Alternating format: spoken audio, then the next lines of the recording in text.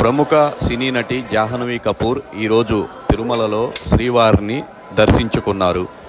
VIP break సమయంలో ఆమె దర్శనానికి వచ్చారు. జాహ్నవి కపూర్తో పాటుగా అలనాటి సినీ హీరోయిన్ మహేశ్వరి కూడా ఉన్నారు. మరియు వారి కుటుంబ సభ్యులు కూడా జాహ్నవి కపూర్ వెంట ఉన్నారు. ఉదయం శ్రీవారిని దర్శించుకొని ఆమె బయటకు రావటంతో ఎండ తీవ్రత ఎక్కువగా ఉంది. దీంతో ఎండకు తట్టుకోలేక ఆమె కొంతసేపు ఇబ్బంది పడ్డారు. ఈ లోపల మీడియా ప్రతినిధులు మాట్లాడవలసిందిగా జాహ్నవి కపూర్ను కోరగా స్వామివారి ప్రదేశంలో తాను ఎటువంటి విషయాలు మాట్లాడబోనని వెల్లడించారు.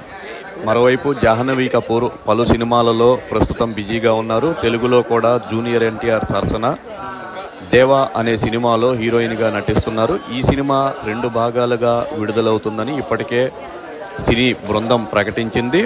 షూటింగ్ కూడా శరవేగంగా సాగుతుంది. ఈ దసరాకు కానీ వచ్చే ఏడాది సంక్రాంతికి కానీ రిలీజ్ చేసేందుకు ఏర్పాట్లు చేస్తున్నారు. పీరియాడికల్ బ్యాక్డ్రాప్లో వచ్చే ఈ మూవీలో జాహ్నవి కపూర్ హీరోయిన్గా ఒక ప్రముఖ పాత్ర పోషిస్తున్నట్లుగా తెలుస్తోంది.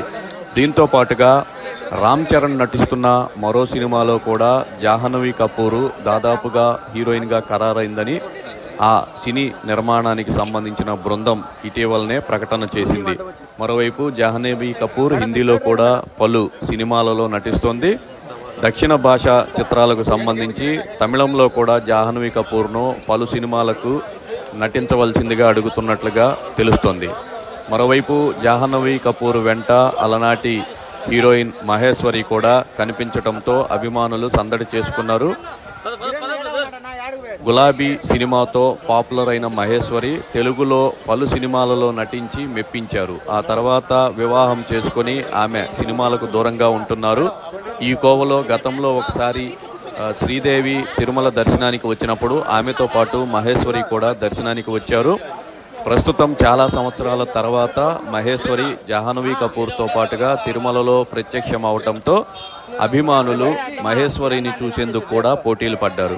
అప్పటికీ ఇప్పటికీ మహేశ్వరిలో పెద్దగా తేడా ఏమీ కనిపించలేదు. విఐపి బ్రేక్ దర్శనంలో వారంతా కూడా స్వామివారిని దర్శనం చేసుకుని తిరుమల నుంచి వెళ్ళారు.